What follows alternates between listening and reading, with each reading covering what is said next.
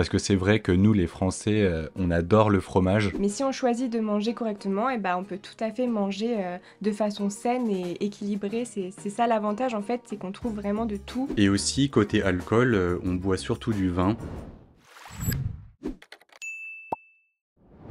Bonjour à tous, c'est Julie et Quentin et bienvenue dans cette nouvelle vidéo dans laquelle on vous apprend à parler en français. Aujourd'hui on va aborder le thème de la nourriture en France. Voici les questions, n'hésitez pas à mettre pause pour les lire, mais dans tous les cas elles seront affichées tout au long de la vidéo. Première question, quels sont vos plats français préférés? Alors pour moi, euh, le plat français que je préfère numéro 1, on va dire, je pense que c'est la tartiflette parce que c'est un plat d'hiver, un plat de montagne, il y a du fromage dedans, des pommes de terre, un truc assez réconfortant et du coup euh, j'adore manger ça euh, mm. en hiver mais même en automne quand il fait un peu frais, j'avoue que j'adore. Et sinon, je pense que j'aime beaucoup aussi le repas de Noël. Alors je pense que pour vous et pour nous c'est pas du tout pareil, vous avez euh, je crois, la dinde de, Noël. Mais nous, c'est plutôt euh, des petits plats comme du saumon avec du pain et du beurre, ou alors euh, du foie gras sur des toasts. Et moi, j'adore ça, je suis fan. À chaque fois que Noël arrive, je suis trop contente juste de manger. Donc ouais, je pense que mes plats préférés, ça tourne autour des plats d'hiver en fait. La tartiflette, le repas de Noël, tout ça, j'adore. Ouais, et moi ça te rejoint un petit peu en fait. Donc c'est pas la tartiflette, c'est en fait la raclette. Donc je sais pas si vous connaissez, mais en fait c'est un plat qu'on mange en hiver aussi et qu'on mange euh, surtout à la montagne. En fait, ça consiste à verser du fromage fondu directement sur des pommes de terre et on mange ça avec de la charcuterie, donc avec du jambon fumé, du saucisson, du jambon cru et on peut même euh, rajouter des œufs Donc euh, c'est pas mal, c'est très gras, très réconfortant, mais c'est très très bon. Et sinon, à côté de ça, j'aime aussi, alors vous allez trouver ça bizarre, mais les escargots. Donc c'est vrai que la texture est assez particulière, mais en fait il y a un goût que j'adore, c'est le mélange de beurre et d'ail. Et en fait, je sais pas pourquoi, euh, mais à chaque fois que je sens cette odeur, vraiment, ça me donne trop envie d'en manger en fait. Et euh, voilà, vraiment, euh, mes plats préférés, ce sont donc la raclette et les escargots. Deuxième question, quels aliments de base retrouve-t-on dans votre maison Alors dans notre appartement, on retrouve euh, à peu près euh, la même chose que tout le monde, je pense. C'est-à-dire qu'on a beaucoup de pâtes, des paquets de pâtes, mais on a aussi du riz, on a aussi de la viande, des légumes, beaucoup de choses qu'on peut trouver facilement sur le marché en fait. Et on a surtout beaucoup de fromage, parce que c'est vrai que nous les Français, euh, on adore le fromage, et voilà, notre frigo en est rempli. On retrouve aussi des conserves, des choses qu'on peut garder un peu longtemps, comme ça, quand on n'a plus rien dans le frigo, et ben on va chercher dans la réserve et on a encore des choses à manger. Après, on aime aussi tout ce qui est sucré, donc euh, on a beaucoup de gâteaux, de bonbons de côté pour quand on a des petits crus entre les repas, mais bon, ça compte pas vraiment dans la nourriture de base, je pense. Mais bon, je le précise quand même. Troisième question, quels sont les aliments français que les étrangers pourraient ne pas connaître? Alors, au niveau du goût, je pense qu'on a pas mal de fromages que vous connaissez pas forcément. Il y a beaucoup de fromages français parce que c'est un peu notre spécialité.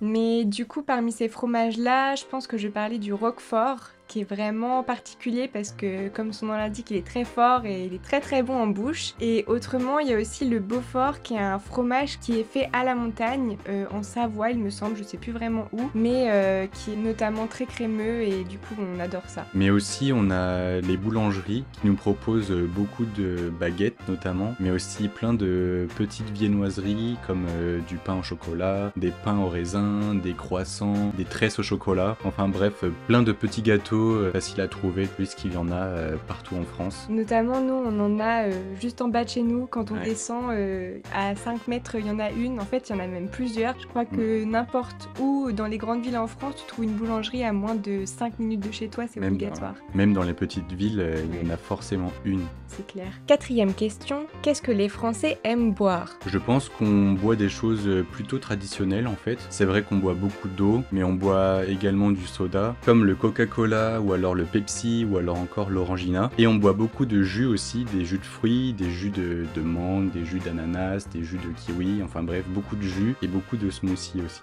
Et aussi on boit moins que vous je pense, mais quand même pas mal de lait. Après c'est pas forcément du lait de vache ou de chèvre, ça peut aussi être du lait végétal comme le lait d'amande ou le lait de riz, ça on en boit comme c'était un verre de jus de fruits entre guillemets. Et le lait surtout on le met avec nos céréales, donc on mange nos céréales et après on boit notre lait. Du coup bah on en boit aussi mais pas non plus autant que vous je pense. Et aussi côté alcool, on boit surtout du vin qui est très produit en France, notamment à Bordeaux, mais également dans le Jura ou alors en Bourgogne. C'est vrai que la France est très connue pour euh, ses vins et euh, on en a souvent à notre table. Et je tiens à rappeler quand même que l'alcool est à boire avec modération, même si vous devez sans doute le savoir, je préfère le rappeler. Cinquième question, à quoi ressemblent les étiquettes culinaires françaises sur les produits par rapport à d'autres pays? Alors sur nos étiquettes, on retrouve un peu les mêmes choses que vous, c'est-à-dire qu'on a la composition de chaque produit qu'on achète. Après, la petite différence, je pense, c'est que on a aussi depuis peu euh, un espèce de pictogramme qui s'appelle un Nutri-Score qui va de A à E en sachant que A c'est le meilleur pour notre santé et E le moins bien. Nous par exemple chez nous on a pas mal de produits A dans les légumes, les choses comme ça, tout ça c'est bon pour la santé. Après comme je vous ai dit dans la question précédente, on a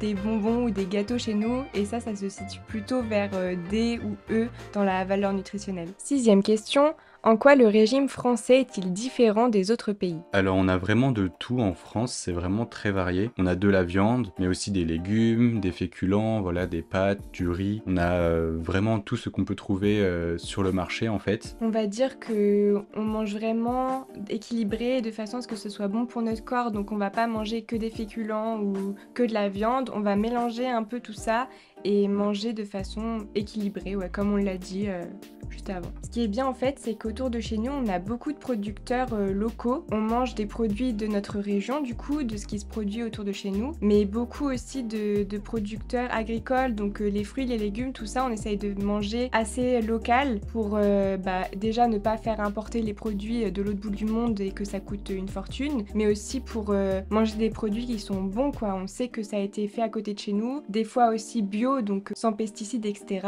Et du coup, euh, on préfère euh, aller sur le marché, par exemple, le mercredi ou le samedi matin, et on va chercher nos produits nous-mêmes. Septième question, la nourriture française est-elle plutôt saine ou malsaine? Alors du coup, ça va rejoindre ce que je disais juste avant. On mange plutôt sain en France en fonction de ce qu'on a envie, parce qu'évidemment, on a aussi bah, des fast-food, euh, de la nourriture qui est un peu moins saine. Mais si on choisit de manger correctement, et eh bah, on peut tout à fait manger de façon saine et équilibrée. C'est ça l'avantage en fait, c'est qu'on trouve vraiment de tout autour de chez nous. Et si on a décidé de manger des légumes et vraiment euh, quelque chose de bien régulièrement, c'est totalement possible. En fait, ça dépend du choix du consommateur, mais c'est vrai que les Français aiment manger sain. Huitième question, préférez-vous manger à l'extérieur ou cuisinez-vous davantage? Alors ça dépend vraiment des gens, mais comme je le disais à la question précédente, les Français en général aiment manger sain. Donc c'est vrai qu'ils vont plutôt cuisiner chez eux parce qu'ils aiment euh, savoir ce qu'ils mangent exactement en fait. Ils aiment savoir ce qu'ils mettent dans leur plat. Et donc c'est vrai qu'il préfère cuisiner, mais de temps en temps, euh, pour se faire plaisir, euh,